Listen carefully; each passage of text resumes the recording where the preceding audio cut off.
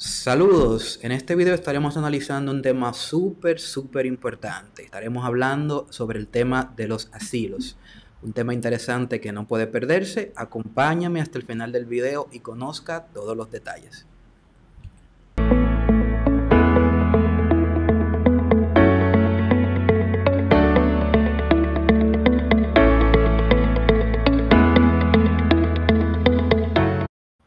Bendiciones, agradecido como siempre de que me acompañes en un nuevo video. Si es la primera vez que ves uno de mis videos, yo soy Aries Luzón, soy consultor de inmigración y mi propósito es ayudarte a que puedas tramitar de forma exitosa todos tus procesos. En este canal encontrarás videos de noticias, tutoriales, videos informativos que te ayudarán con, con tus casos y como siempre si deseas contactarme podrás encontrar mi información de contacto en la descripción de este video. Como ya indiqué al inicio, el día de hoy estaremos hablando sobre un tema muy, pero muy especial. Y uh, me place en anunciar que el día de hoy estaría acompañado, y no por cualquier persona, sino uno de los mejores abogados de inmigración que he conocido, una persona que me honra eh, ser su amigo, haber compartido con él y que nos estará um, ilustrando sobre este tema. Es una persona con mucha, mucha experiencia en este tema y es por esta razón que decidí traerlo, el abogado Luis Victoria. Saludos, Luis. Muchas bendiciones. Gracias, Aries, por estar aquí eh, presente en tu programa. Es un honor para mí de igual manera y me elogias con todas esas eh, palabras eh, maravillosas. Igualmente considero un amigo y, y eres una persona muy estudiosa del tema. Así que vamos a, gozar en este programa del asilo.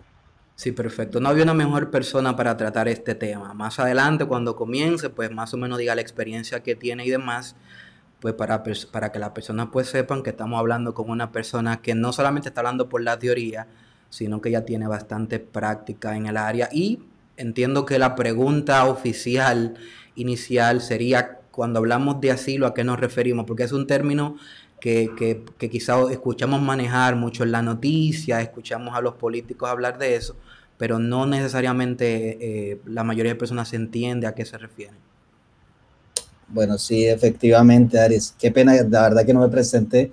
Mi nombre es Luis Victoria, soy eh, abogado de inmigración aquí en Estados Unidos, en Miami, Florida. Y pues bueno, sí, desde acá estamos también trabajando, igual que tú, ayudando a la gente. Eh, Aries, sí, este es un tema muy candente, inclusive ahora con nuevos cambios y todo esto que se está presentando con un nuevo presidente entrante, ¿no? E, electo. El asilo em, exactamente proviene de eh, la palabra refugiado. Como se entiende, estas palabras tienen, digámoslo así, mucho, mucha similitud, porque el refugiado es aquel quien busca ayuda en un país diferente al de su origen.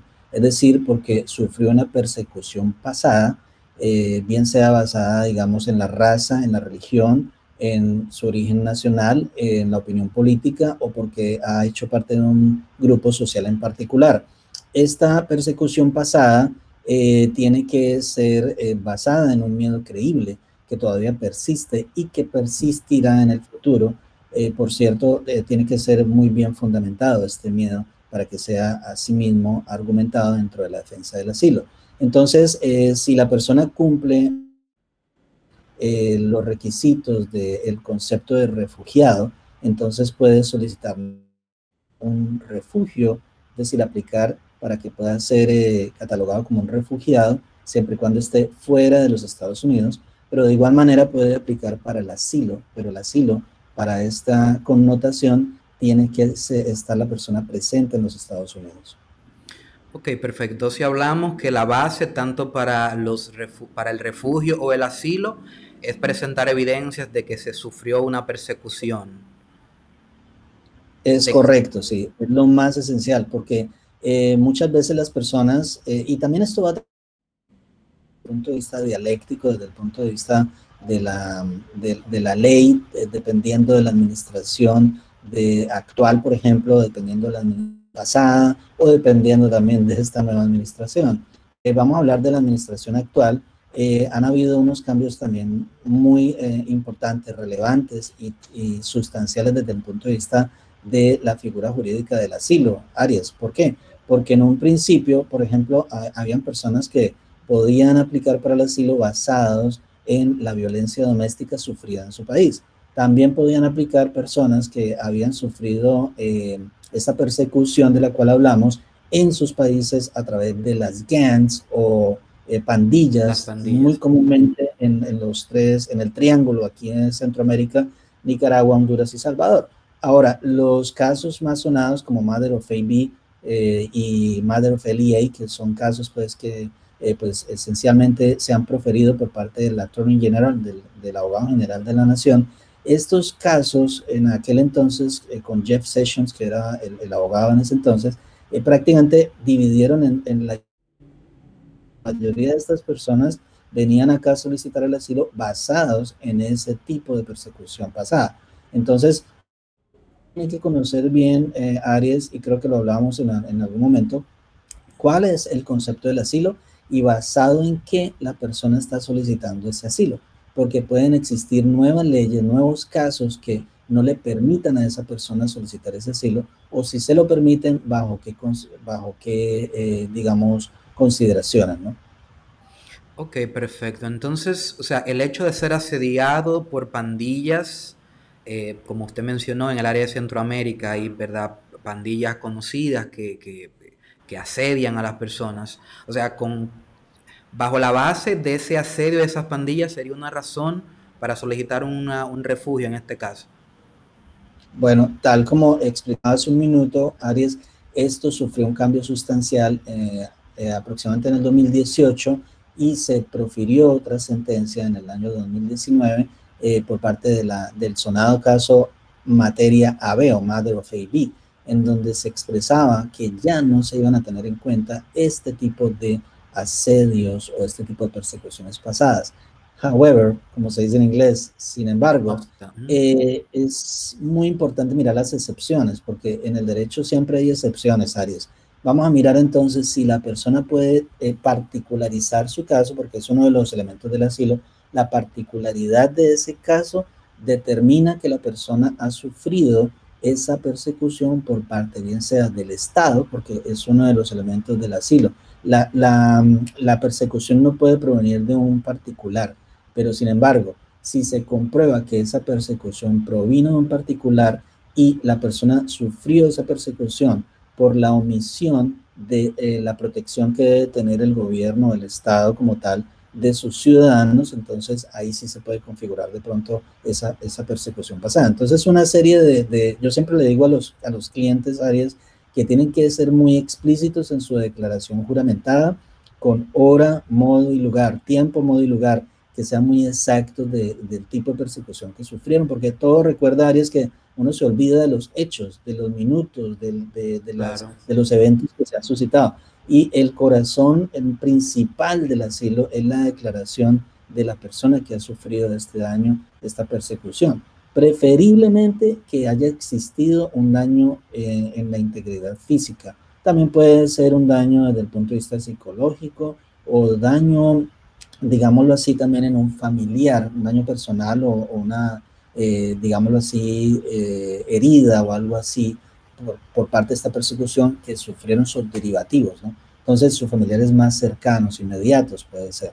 Yo he tenido casos en donde la persona que está solicitando el asilo lo solicita no solamente por la persecución que ha sufrido, sino también por la persecución que ha sufrido su grupo familiar. Es decir, ese grupo familiar se configura como un grupo social en particular porque es reconocido dentro de la sociedad y tiene una diferencia respecto de los otros grupos que existen en esa sociedad. Es decir, tu familia Aries Luzón es diferente a la familia, digamos, de, de, los Luzón de otra parte, porque la tuya es, es, tu, esposa, tus hijos, tu mamá, tu papá, en fin. O de pronto es diferente del otro barrio. Entonces hay que particularizar siempre y tiene que haber un reconocimiento. Entonces los testigos son muy importantes, eso es otro aspecto la gente no sabe cuán importantes son los testigos, los testigos que viven, o sea, quienes vivenciaron en carne propia eh, eh, esa, esos daños que sufrió usted, no solamente en la propiedad, no tanto porque es un aspecto que no se tiene muy en cuenta, si dañaron mi carro, si apedrearon mis puertas, si me rayaron eh, una moneda a mi carro, mira, me hicieron una persecución. No, se trata de la persecución que usted en su integridad personal sufrió. Entonces, son muchísimos aspectos, Aries, que, tienen que tenerse en cuenta para que tú puedas ganar exitosamente un asilo, ¿no? Entiendo, escuchándole decir eso me llama mucho la atención em, eh, el hecho de que probablemente quizá la gente pueda entender que no hay muchos casos de asilo quizá en Latinoamérica. Sí, ah, básicamente se debe sufrir una persecución por parte del Estado. Eh, en, su, en la práctica, en los casos que usted ha recibido, ¿qué porcentaje pertenecen a países de Latinoamérica, o sea, latinoamericanos que solicitan asilo? Bueno, no, eh, contrario a ello, en Latinoamérica esencialmente la mayor parte, y, más donde yo estoy ubicado, que la mayor parte de, estas personas son de origen venezolano. Entonces, los venezolanos, pues obviamente son los número uno aplicantes de asilo que existen aquí en el sur de la Florida y quizás uno de, uno de los grupos, eh, digamos, eh, que solicita más asilo aquí en Estados Unidos por la persecución del gobierno dictatorial que tiene en este momento desafortunadamente este país. Entonces, estas personas eh, justamente es, es, el ejemplo perfecto de que son parte de un grupo social, bien sea particular, porque ellos pueden, por ejemplo, haber sufrido la persecución de este gobierno totalitario, eh, debido a que hacían parte de las eh, damas eh, que ayudaban a las personas perseguidas, por ejemplo. Entonces, el gobierno va a decir, no, esas personas, esas mujeres van a estar vetadas, van a, no van a poder obtener trabajo, no van a poder obtener los beneficios del gobierno. Ahora bien, no, yo hacía parte del grupo político de la oposición, entonces también ese va a ser un argumento importante hay que tener en cuenta toda la documentación, la evidencia es lo más importante. Hay un, hay un viejo adagio que viene del derecho romano, Arias, si me lo permites, dadme las pruebas, daré el derecho.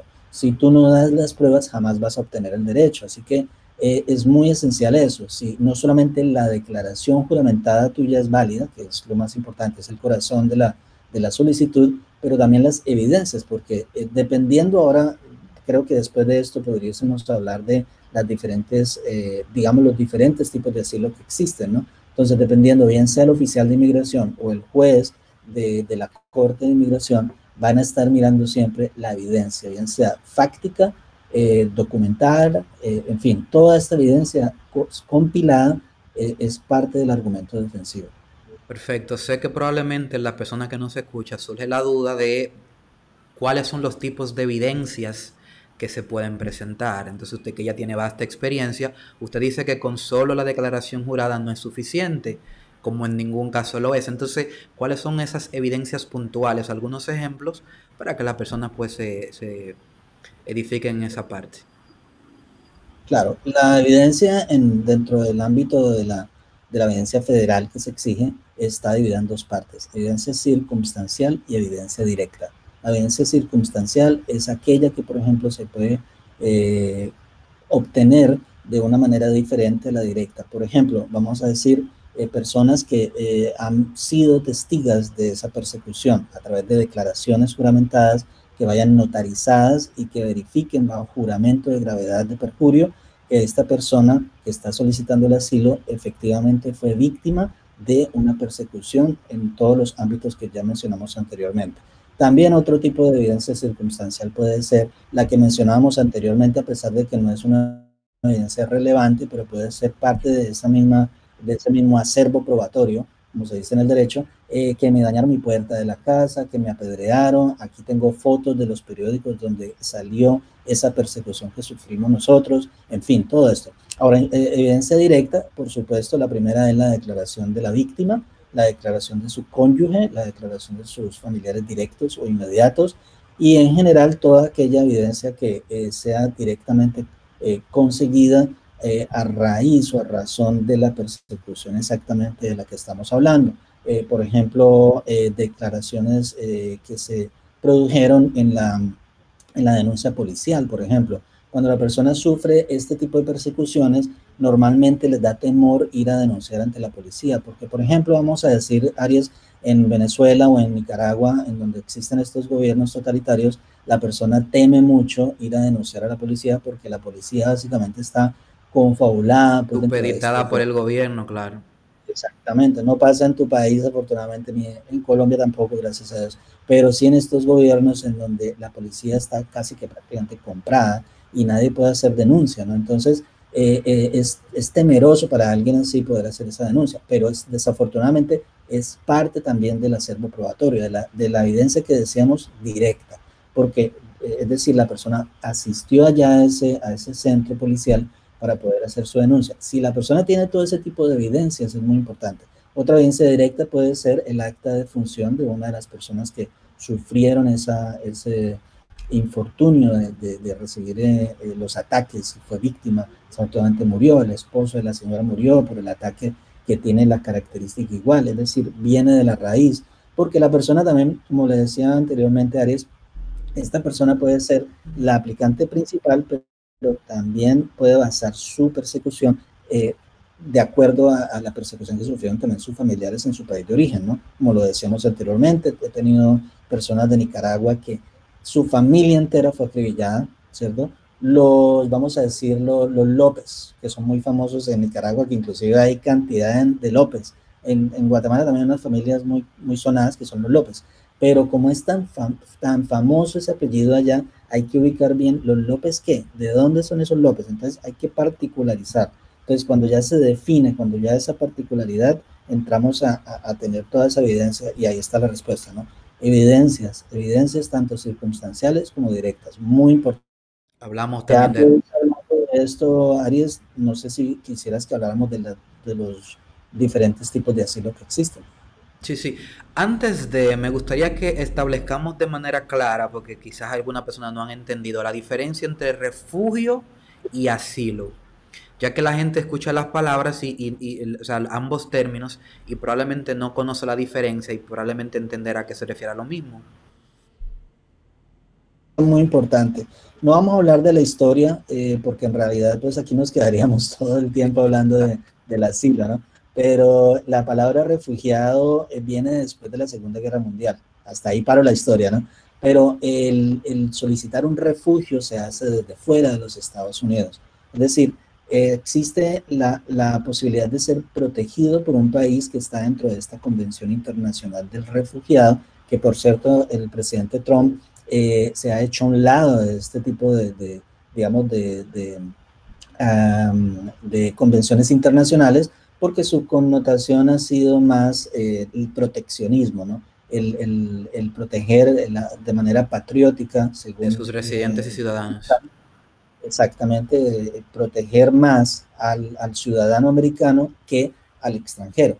Pero desafortunadamente, pues, eh, pues o desafortunadamente no, digámoslo así, afortunadamente existen convenciones internacionales en donde se protegen a estas personas que eh, de manera, pues, eh, desafortunada no tienen la protección de sus, de sus países o de países que de pronto no, no, les pueden dar la mano en ese momento cuando lo necesitan. Vamos a hablar de un tema específico de un nicaragüense, ¿no? Como se sufre tanto en ese país, de un guatemalteco, de un venezolano, ¿para dónde pega esa gente, Aries? Entonces, eh, de acuerdo a las convenciones internacionales que existen del refugiado, esta persona puede solicitar el refugio desde fuera, lo cual es casi que imposible hoy en día, porque los únicos, los últimos refugios o aprobaciones que se dieron de refugio fueron en la, en la presidencia del presidente Obama, valga la redundancia.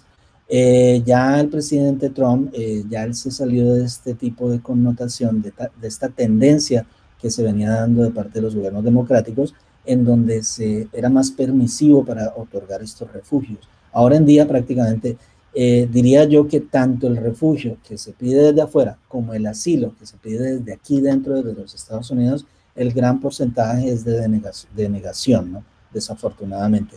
También esto se ha suscitado todos estos cambios, según el gobierno republicano, por los fraudes que han existido durante muchos años, ¿no? Porque desafortunadamente justos pagan por pecadores, también han habido muchos fraudes en los que la persona eh, venía aquí a pedir un asilo, pero sin ninguna base. Es decir, ese asilo frívolo está también castigado por la ley. Así que han sido muchos eh, de este tipo de asilos durante muchísimos años, hasta que ya de pronto el gobierno federal se cansó de, que existiera esta, este mal manejo de, esta figura pues, jurídica que tiene una connotación más humanitaria, ¿cierto?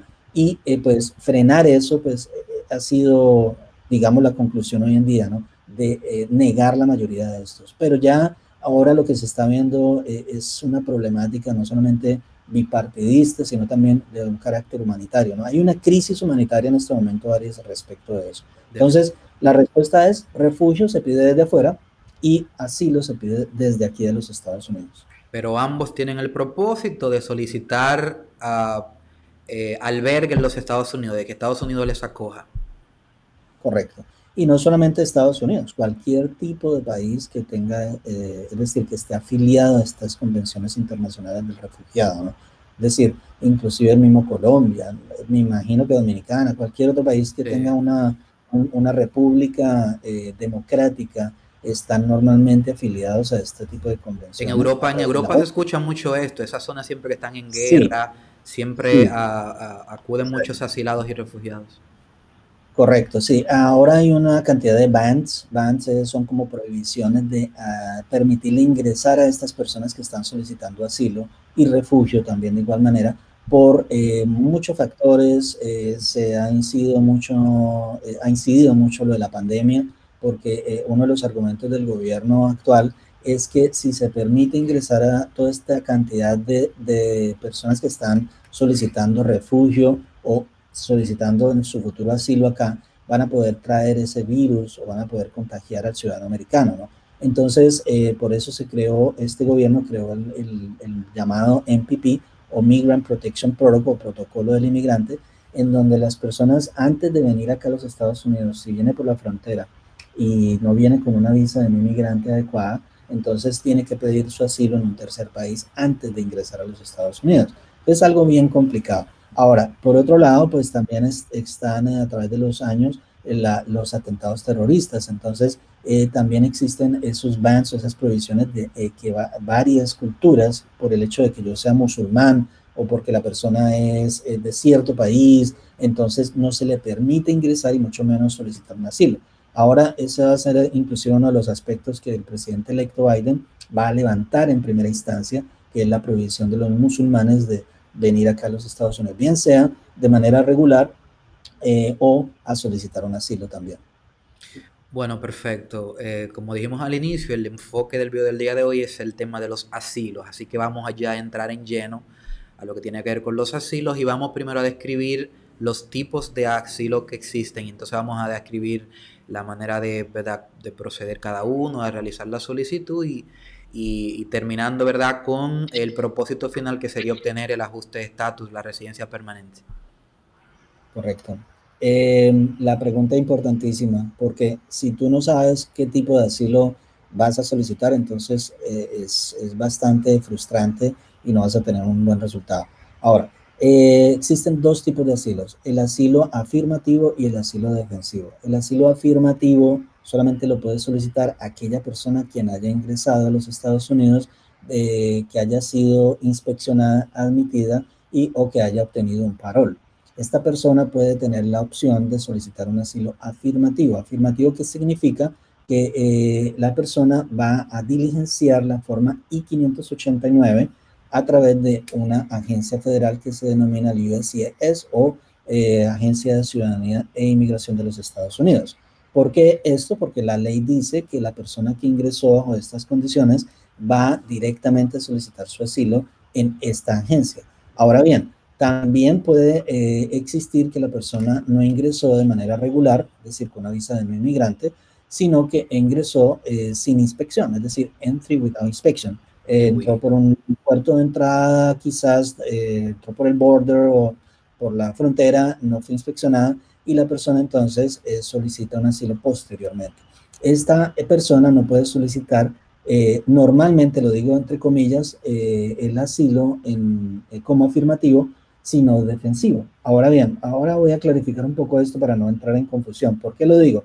Porque siempre y cuando la persona no haya recibido una NTA, que se denomina una notificación para comparecer en la corte, puede todavía inclusive solicitar el asilo eh, afirmativo, es decir, en, la Agencia de Ciudadanía e Inmigración.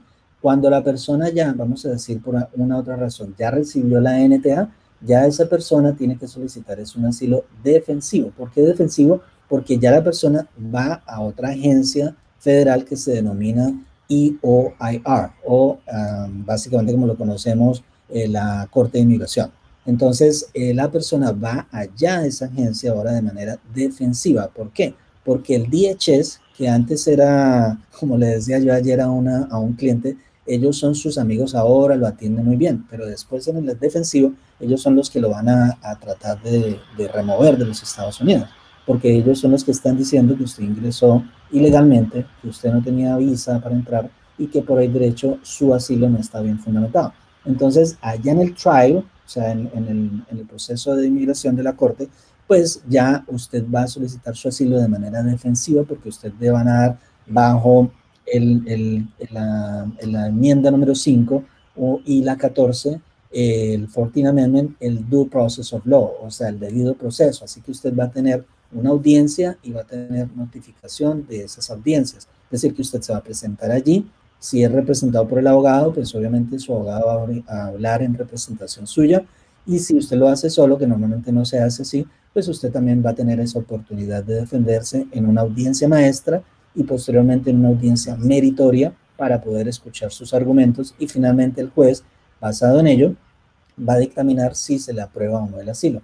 En contrario a ello, en el asilo afirmativo, como lo hablamos anteriormente, el oficial de inmigración es el que está allí en ese momento analizando su asilo, no es el, no es el juez de inmigración, en el USCIS. Entonces, una vez la persona solicita el asilo allí, pues el oficial de inmigración, basado en las evidencias que ha recibido y en la forma I-589, la persona va a tener un resultado posterior a la entrevista que usted tiene con ese oficial de inmigración en relación con su asilo.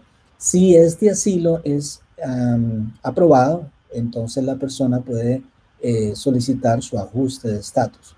Si este asilo es negado, entonces la persona eh, pues inmediatamente es transferida al proceso defensivo.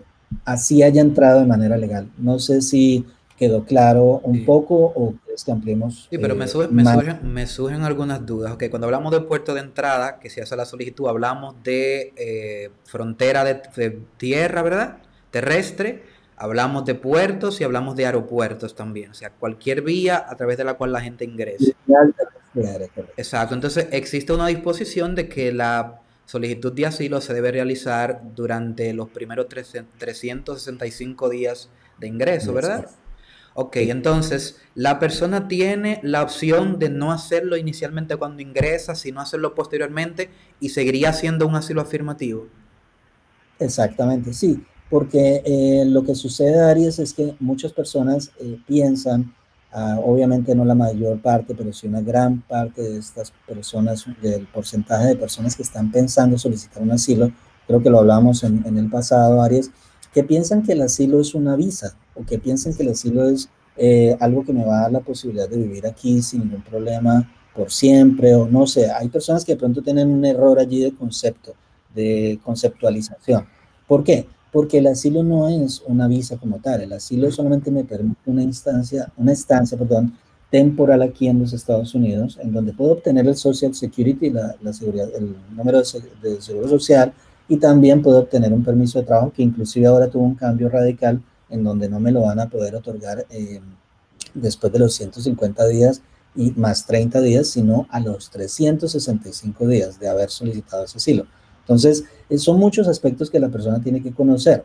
Ahora bien, ese es un permiso temporal mientras que, mientras usted es procesado, bien sea en el, afirmativo, en el asilo afirmativo o en el proceso defensivo.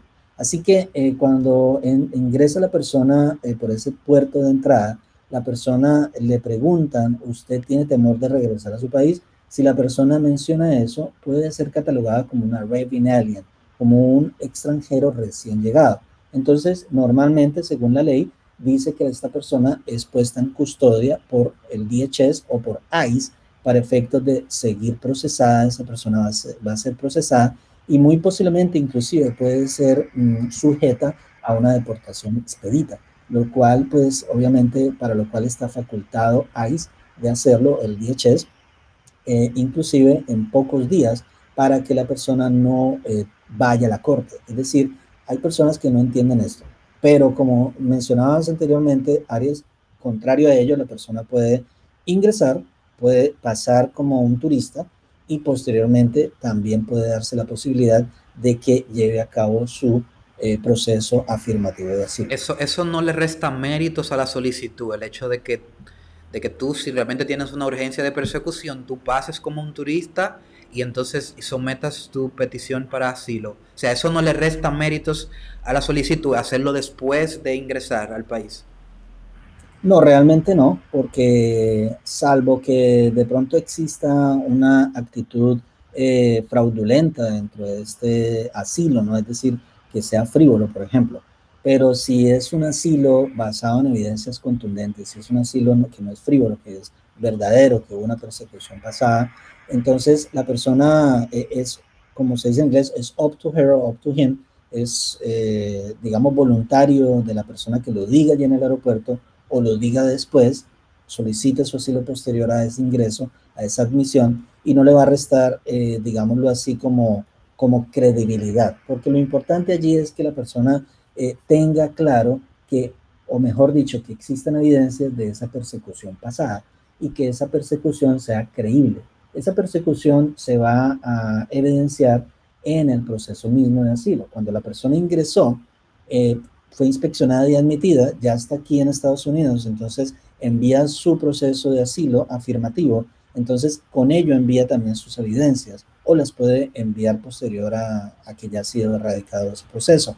Y lo importante allí es que cuando vaya a la entrevista con el oficial de inmigración, el oficial de inmigración determine que existe un miedo creíble, que está fundamentado en esa persecución pasada o en un, eh, una futura bien fundamentada eh, persecución también de igual manera. Entonces hay que tener en cuenta muchos aspectos también allí, porque por ejemplo, la persona ingresó aquí a los Estados Unidos concatenada, pues digamos la respuesta con lo que preguntabas, Arias, la persona ingresó, vamos a decir hoy, eh, y todo era perfecto, vamos a decir en, no sé qué país, en Nicaragua no lo podemos poner de ejemplo, pero vamos a decir en Colombia.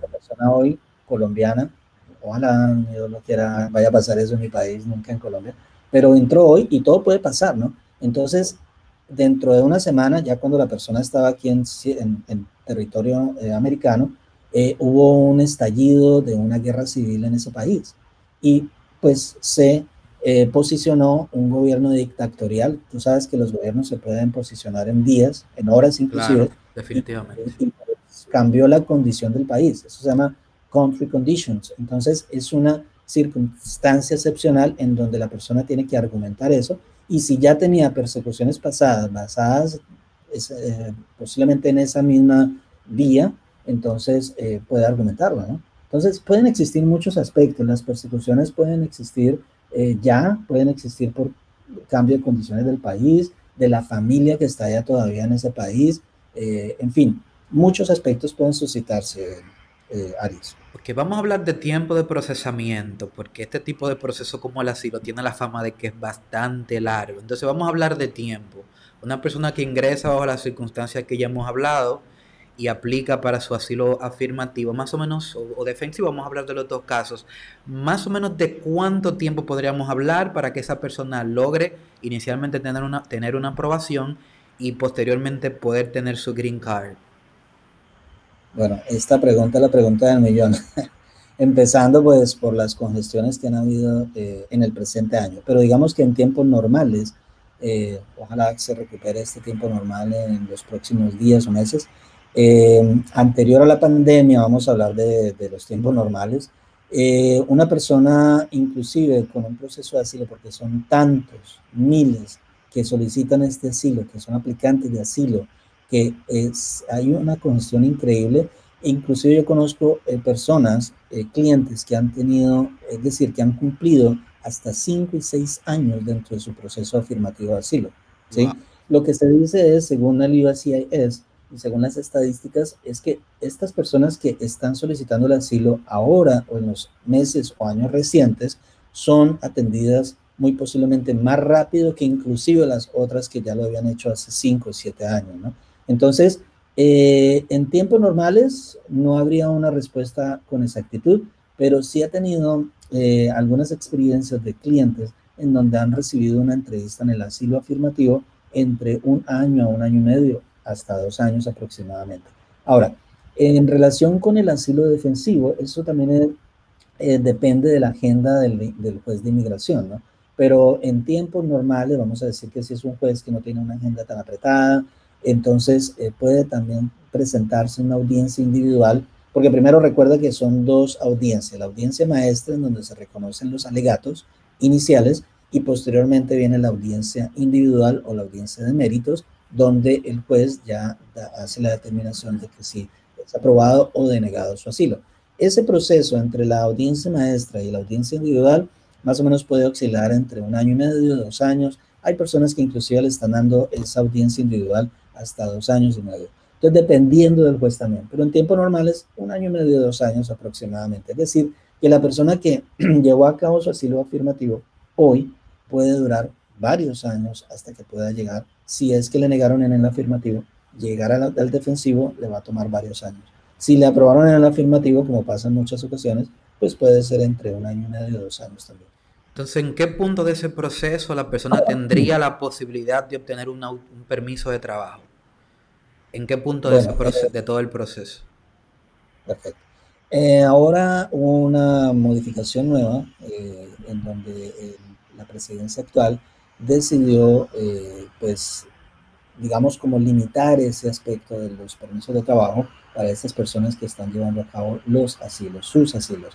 Entonces, eh, USCIS reguló esto en su policy manual, en el manual de, de, sus políticas, en donde ya no van a tener la obligación de emitir una, una autorización de empleo entre 150 días más 30 días, en donde se supone que deberían acelerar y dejar todo a un lado para poder hacer esta autorización, es decir, para un total de 180 días, ya no existe eso, ya van a ser de la persona que haya eh, llevado a cabo su asilo a partir de agosto 26 del 2020, si no me equivoco, esta persona tiene que esperar por lo menos 365 días para que sea muy posiblemente expedida su autorización de empleo. Así que esta persona eh, puede obtener su autorización de empleo muy posiblemente en un año. Si lo hizo antes, va a ser más o menos 180 días.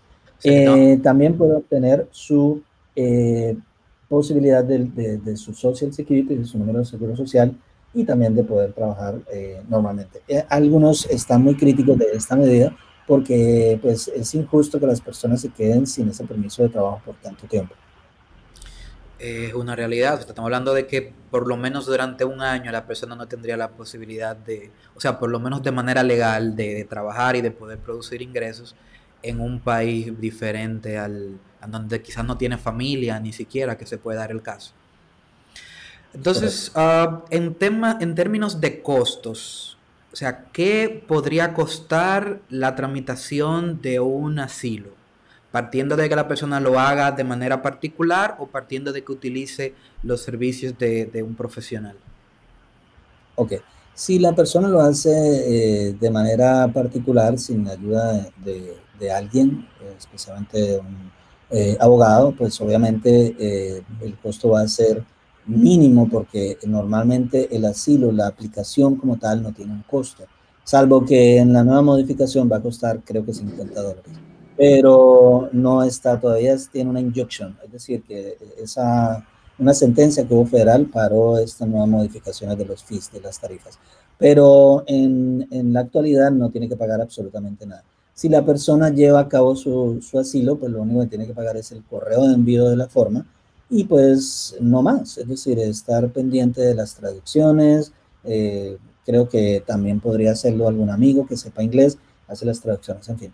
Yo no recomiendo que la persona haga un asilo por sí misma porque es muy complejo, varias. Todo lo que hemos hablado hoy, imagínate, eh, no es solamente llenar la forma, porque en realidad es mucho más de ello. Hay que conocer las eh, características particulares de esa persecución que sufrió la persona y tratar siempre de que eh, se realice una defensa idónea para que no vaya a perder todo el tiempo. Porque la persona... usted, me habló de un caso reciente, ¿no? De, de, un buen ejemplo de por qué que se debe buscar la ayuda de un profesional.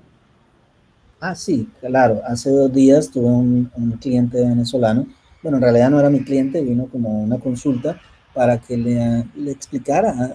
En, realidad la persona, Ariel no sabía que era un asilo, se quedó aterrado. Empezando que tenía una, una ineligibilidad muy posiblemente bien relevante, porque él tiene doble nacionalidad. Tiene, como muchos de los venezolanos que solicitan asilo, tienen doble nacionalidad. Este señor tiene doble nacionalidad, su esposa se la dio y sus hijos como tal también tienen doble nacionalidad, pero no son de doble nacionalidad de Venezuela y de Honduras, sin demeritar a Honduras ni Nicaragua porque son espectaculares países, pero esta doble nacionalidad eh, es italiana y venezolana. Entonces, si tú puedes referir eh, Arias, pues lo primero que va a decirle el oficial de migración, ¿y usted por qué no se fue para Italia? Entonces, yo fue lo primero que le dije, ¿no? Pero usted tiene nacionalidad italiana y la persona que le diligenció esta forma no le dijo que podían negarle su asilo de inmediato y me dijo, no, la verdad no sé, pero yo puedo renunciar a esa, a esa digamos, nacionalidad para que me den el asilo. Eso no lo puede hacer porque ya él puso en su forma que es italiano también. Así que eh, eh, son cuestiones que tienen que asesorarse de un profesional para efectos de que no cometan este tipo de errores. Ahora, si él hace eso, pues obviamente va a tener mucha duda en relación con su asilo, porque ¿cómo van a decir, mire, usted era italiano cuando envió su, su solicitud y ahora es solamente venezolano? ¿Qué pasó con su otra ciudadanía? No la aprovechó para irse para allá, porque Italia es uno de los mejores países del mundo. Entonces, no sé, él se quedó mudo y no puede explicar esa, esa connotación. Por otro lado, tampoco él sabía en realidad cómo era su persecución. No, muchas veces las personas, Aries, eh, hay que guiarlas, porque tú que sabes que estás dentro de este campo de inmigración, muchas veces las personas no saben, pero ya tienen el derecho, pero no saben cómo expresarlo, cómo poder cristalizarlo, cómo llevarlo a cabo. Entonces, el asilo es uno de los ejemplos básicamente palpables de cómo llevar a cabo eh, este proceso de manera exitosa, lo cual es bien difícil en la actualidad con el gobierno actual, pero muy posiblemente, según las eh, pues, estadísticas y, análisis, el presidente electo Biden muy posiblemente va a empezar a hacer los cambios radicales en tal sentido, de manera positiva. ¿no? Ok, entonces con la ayuda de un profesional, que esa parte no la hemos discutido, ¿qué tanto podría yo sé que obviamente es difícil porque eh, asumo que no existe una cuota fija, cada abogado pues tendrá sus, costos de honorarios, pero algo promedio de lo que podría costar un proceso de asilo. Sí, me olvidé de comentar eso, Arias.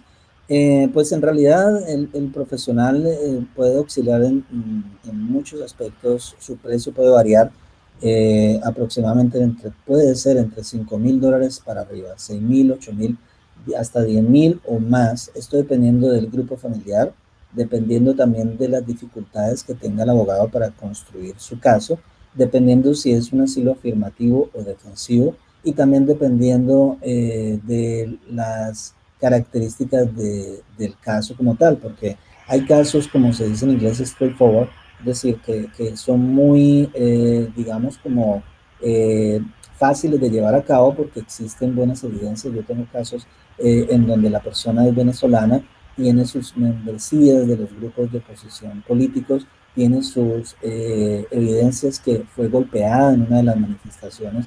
Eh, te estoy hablando de un caso real, ¿no? de una venezolana. fue, ella tenía un, su odontóloga en, en, su país, en Venezuela, y en una de esas protestas su consultorio fue destrozado, su familia también fue mancillada, fue golpeada, y pues bueno, existen muchas evidencias que estoy muy confiado en que este proceso va a ser positivo, ¿no? Eh, pero hay otras personas que solamente tienen su propia declaración. Entonces, eh, es más difícil ese proceso porque eh, hay que tratar de hablar con un testigo experto para que esta persona testiga experta, que puede ser un profesor universitario o una persona que se dedique a, ese, a esa, digamos, problemática política y, o geopolítica de ese país en específico. Hay expertos en esos temas.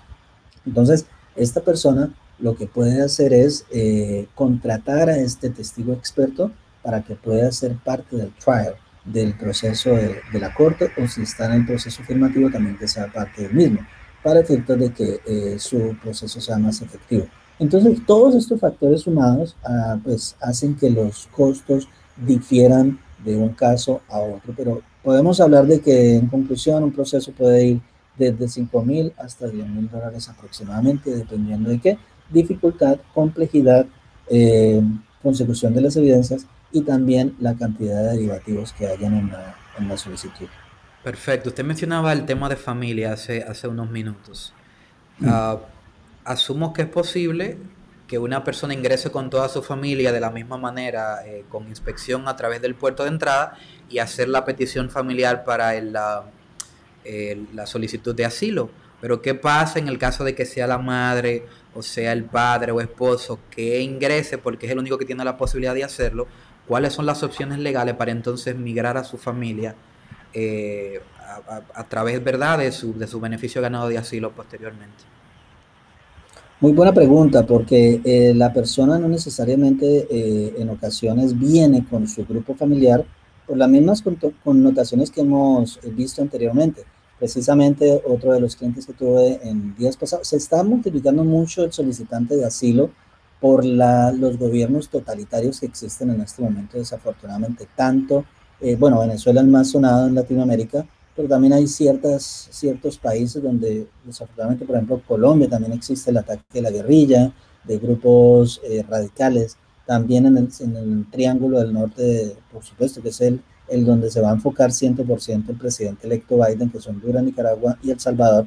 Hay problemáticas gravísimas en estos países, entonces en ocasiones no puede salir toda la familia, sino que sale un grupo o sale el papá o sale el principal del asilo. Entonces, esta persona deja atrás a sus derivativos, quienes son menores de edad en ocasiones.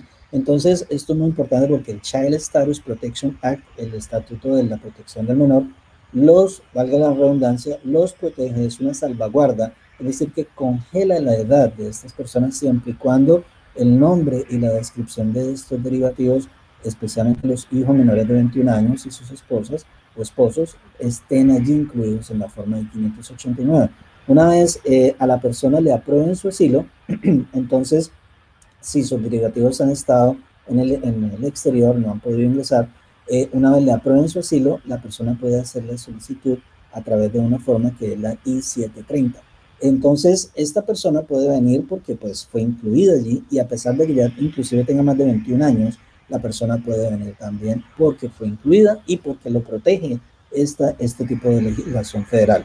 Ahora bien, si la persona, como en el ejemplo que mencionaba Zarid, viene, eh, digamos, con su grupo familiar por un puerto de entrada de manera legal y pues envían su solicitud y allí mismo eh, describe y, anota sus, eh, a su grupo familiar, especialmente a sus hijos menores de 21 años, entonces pues estas personas se van a beneficiar también de igual manera a través de ese asilo y pues pueden, por supuesto, posterior a su aprobación, hacer el ajuste del estatus a través de una I-485 como asilados en ese momento. Y valga la, la, aclaración y la oportunidad en este momento que la palabra asilado es diferente a aplicante de asilo o persona que está en un proceso de deportación o de remoción en la corte. Entonces son tres conceptos diferentes. El asilado ya es a quien se le aprobó el asilo el aplicante de asilo es el que en este momento está en el proceso de asilo afirmativo y la persona que está en el proceso defensivo se denomina persona o demandado o respondent o persona que está en el proceso de remoción. Ok, perfecto. Ya entiendo que finalmente sería hablar del panorama, cómo se vislumbra en torno a esta nueva administración para lo que se refiere a refugio y asilo. ¿Qué, qué se vislumbra que va a pasar? ¿Qué ha dicho el electo presidente sobre este tema? Eh, bueno, esa es una pregunta que básicamente brinda mucho positivismo para los inmigrantes, especialmente para aquellos que están en procesos de asilo actualmente o que están pensando solicitar su asilo en el futuro, puesto eh, que están sufriendo esta persecución en este momento y en países como Estados Unidos que han sido, eh, digamos, como destacados a nivel mundial en la protección de estas personas, pues en estos cuatro años del presidente Trump desafortunadamente no han encontrado esa, ese eco, esa ayuda aquí. Entonces, con este presidente, uno de sus aspectos más importantes es, pues va a ser muy difícil porque son 900 aproximadamente acciones presidenciales, entre ellas las órdenes presidenciales, existen las órdenes ejecutivas, 900, eh, imagínate, Arias. Entonces, eh, yo creo que lo que dice él en su reforma es que va a enfocarse a las más importantes dentro de los 100 primeros días. Una de ellas va a ser la posible modificación de este programa de MPP, del programa del, protocolo del inmigrante, en donde la persona debe pedir el asilo en un tercer país primero para poder solicitar su asilo acá en Estados Unidos. Ese, según Biden, va a ser uno de sus propósitos, quitar ese, ese, ese obstáculo para los que van a pedir su asilo.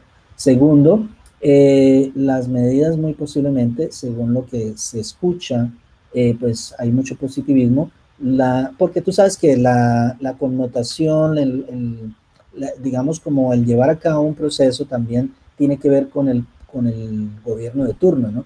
Si el gobierno de turno, su actitud, si el gobierno ejecutivo de turno, su, su propósito es cerrar las puertas al inmigrante, entonces, eh, pues posiblemente los que vienen allí en esa rama ejecutiva, derecho, que son los jueces de inmigración, son los oficiales de inmigración a través del Departamento de Homeland Security y por otro lado el EOIR. Entonces, estas, estas agencias federales provienen del Ejecutivo. Así que si vienen del Ejecutivo, ramifican en su misma filosofía, ¿no? Es decir, en cerrar las puertas de los Estados Unidos. Pero cuando el Ejecutivo está liderado por otra persona, en este caso por Biden, que tiene este pensamiento pues diferente en su Partido Demócrata, entonces se permea esa filosofía, ese propósito de su gobierno a las agencias federales que pues hacen parte de esa rama ejecutiva. Eso es lo que se espera, ¿no? digamos, en teoría, Arias. Entonces, positivismo de los resultados de las aprobaciones de los asilos a quienes ya están dentro de sus procesos, también pues que tengan el positivismo, ¿no? Y a quienes no lo están, yo recomiendo personalmente que se preparen bien con sus evidencias, que se preparen bien con sus testigos y que se preparen bien, que planifiquen bien antes de venir a los Estados Unidos. No, pues perfecto, entiendo que hemos cubierto el tema en su totalidad. Como pueden ver todos, es una enciclopedia viviente, mi amigo Luis Victoria, y le, le, agradezco nuevamente la oportunidad que, que me da de poder eh, participar en mi canal. Invito de manera formal a todos mis suscriptores a que se suscriban a su canal. Pueden encontrarlo en YouTube como Luis Victoria Lo, ¿verdad? Sí, Arias. Igual voy a dejar el enlace también en la parte, eh, en la descripción del video para que usted vaya. Si usted quiere conocer una perspectiva diferente de la inmigración, vaya y suscríbase al canal, que no, no se va a arrepentir, la verdad. Así que no sé si tiene algunas palabras finales, pues no, eh, Aries, eh, la verdad las palabras que tengo son de agradecimiento por todas esas palabras que me valga la redundancia que expresas hacia mí. Igual pienso de ti, eh, una persona muy eh, correcta, formal, educada. Por eso acepté tu invitación porque la verdad pues no, no accedo, a esta invitación normalmente, pero si proviene de una persona como tú, la verdad la, acepté porque es una persona que he encontrado un buen amigo y una persona estudiosa de, este tema y sobre todo presta a ayudar. Así que, bueno, aquí estamos eh, con el objetivo de ayudar a los inmigrantes para que cumplan su sueño americano, ¿no? Perfecto, la idea siempre es ayudarle y recuerde que no importa el problema que usted tenga, usted no puede contactar y siempre vamos a buscar la forma de ayudarle, no importa el inconveniente que sea. En la descripción van a encontrar los datos del abogado, si desean contactarle directamente, de igual manera me pueden contactar y le ponemos en comunicación con él. No importa su situación, tiene una solución y le podemos ayudar. Muchas gracias Luis eh, por su tiempo y eh, de antemano pues le hago la invitación para una próxima oportunidad ya que seguramente estaremos grabando eh, más adelante otra vez contenido juntos. Claro que sí, ojalá que sea en Dominicana, que quiero ir a conocer las playas de por allá de Dominicana algún día. Bueno, pues Luis, pues un abrazo y nos vemos en la próxima. Bueno, muchas gracias, Arisa, a ustedes. Bueno, pues nada, como vieron, una joya de video. Espero que a todos les haya gustado, que aprendan. Sé que es un tema que eh, quizás no lo consumen muchas personas, pero eh, hay un grupo de personas que esa información la necesita. Como siempre ha sido un placer para mí. Recuerde darle like al video, suscribirse al canal, active la campanita de notificaciones. Si tiene alguna pregunta o algún comentario, déjela en el área dispuesta eh, de la parte inferior del video. Y si Dios lo permite, nos vemos en una próxima oportunidad. Yo soy Ariel Luzón y nos vemos en la próxima. Bye bye.